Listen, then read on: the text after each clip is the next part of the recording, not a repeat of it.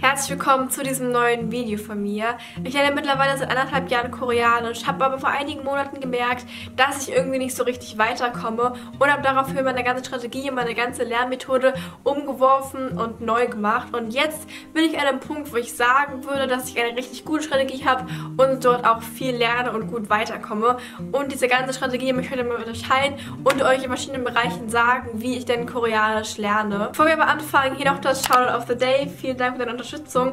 Falls auch gerne im nächsten Video gegrüßt werden möchtest, kannst du gerne einen Screenshot von diesem Video in der Instagram Story posten und vielleicht wirst du dann im nächsten Video auch gegrüßt.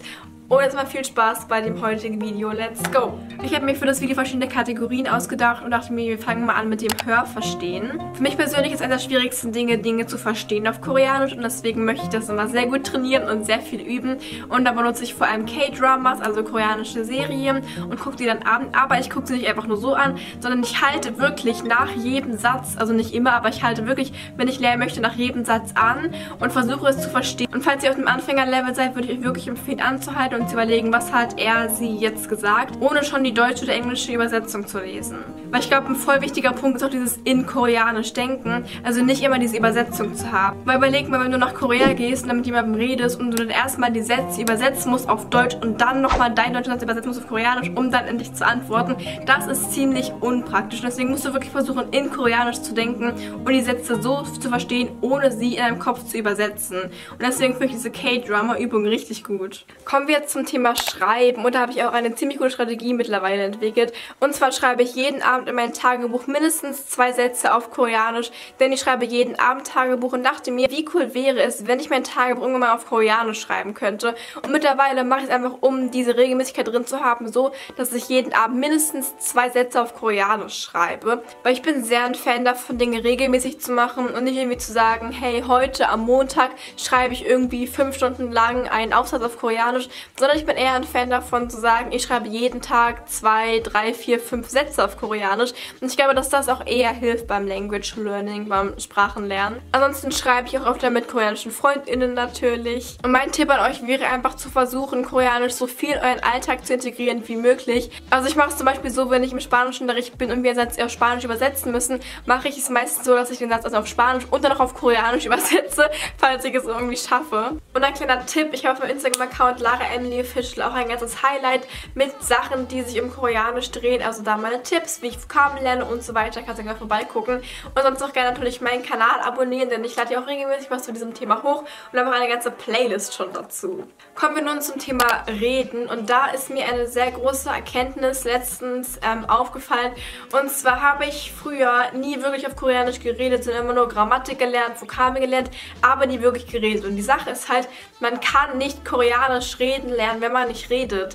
Und deswegen habe ich mir im Januar ähm, eine koreanische Lehrerin rausgesucht. Also ich habe jetzt eine Lehrerin, mit der ich regelmäßig auf Koreanisch rede. Und es hat mein Leben, okay, nicht mein Leben, aber meine Koreanisch ähm, Lernability sehr, sehr gepusht. Du musst aber nicht gleich einen koreanischen Lehrer oder Lehrerin haben. Es reicht auch, wenn du irgendwelche anderen koreanischen Leute hast, mit denen du einfach mal regelmäßig reden kannst. Denn wirklich, wenn dein Ziel ist, koreanisch zu reden, musst du auch das Reden üben. Und es bringt nichts, nur Grammatik zu lernen. Das habe ich äh, mittlerweile auch mitbekommen und gelernt. Glücklicherweise gibt es in der heutigen Zeit aber sehr viele Möglichkeiten, auch internationale Freunde oder Freundinnen zu machen. Beispielsweise gibt es da Apps wie HelloTalk, Tandem oder auch über Instagram und TikTok kann man bestimmt irgendwie auf solche Leute aufmerksam werden und dann sich anfreunden bzw. vielleicht einfach nur so Kontakt haben und versuchen dann die Sprachen zu lernen. Kommen wir zum sehr tollen Thema Grammatik. Früher habe ich sehr, sehr, sehr, sehr, sehr viele Grammatikstrukturen gelernt und sehr viel Grammatik einfach gelernt, weil das irgendwie so die einzige Sache war, von der ich wusste, wie ich das machen soll, weil ich ganz viele Grammatikbücher hatte und diese dann so gut ähm, durchgelesen habe und durchgearbeitet habe. Aber ich habe wirklich gemerkt, es bringt nicht so mega viel Grammatik zu lernen. Ich meine, klar, wir brauchen Grammatik, aber aber reden und verstehen und hören ist viel wichtiger. Natürlich lerne ich momentan immer noch Grammatik und auch viel Grammatik, weil es einfach eine Grundlage ist, die wir brauchen.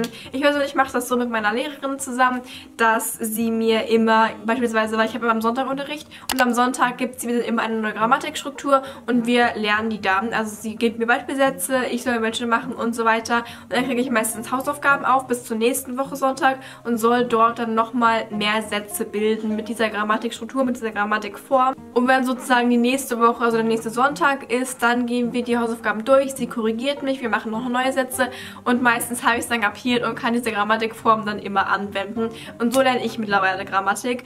Und wie wir die Grammatikform rauskriegen, machen wir wie folgt. Und zwar reden wir am Anfang der Stunde immer miteinander. Sie fragt mich so, was ich gemacht habe, was ich gegessen habe, was ich vorhabe, wie es mir geht und so ganz alltägliche Sachen. Und ich antworte ihr dann und meistens findet sie irgendwelche Fehler. Und dann schreibt sie sich das Ganze auf und weiß dann sozusagen, was ich noch nicht kann oder was ich noch nicht gut mache. Und daraus entstehen dann die ganzen Grammatikformen, die wir dann lernen. Der letzte Punkt sind dann jetzt Vokabeln und ich struggle immer sehr mit den Vokabeln, da das eine Sache ist, die mir nicht so einfach fällt, muss ich sagen, mir Vokabeln zu merken. Ich benutze die App Smartcards oder Quizlet und ich habe da verschiedene Sets. Beispielsweise habe ich da ein Set äh, mit meinem koreanischen Unterricht, also schreibe ich die Vokabeln auf, die ich im Unterricht gelernt habe. Dann habe ich ein Set mit Run BTS, also Vokabeln, die ich dort gelernt habe in der ähm, TV-Show.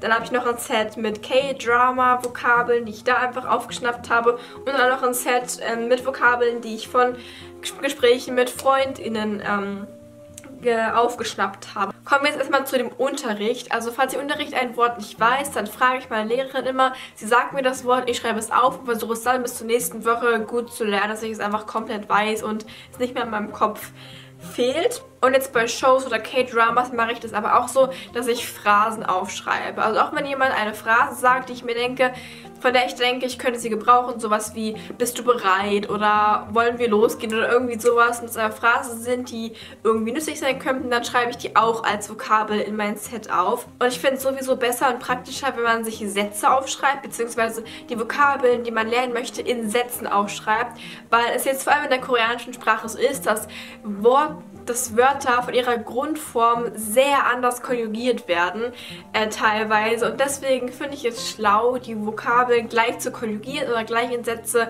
einzusetzen und zu gucken, ähm, wie sie dann wirklich im Gebrauch aussehen. Falls ihr jetzt auch interessiert, wie gut mein Level schon ist, kannst du ja immer bei diesem Video vorbeigucken, denn ich habe schon, okay, das war letztes Jahr, aber ich habe letztes Jahr so einen Test gemacht, wie gut mein Koreanisch ist. Ansonsten habe ich auch noch eine ganze Playlist mit meinen Koreanisch-Lernvideos.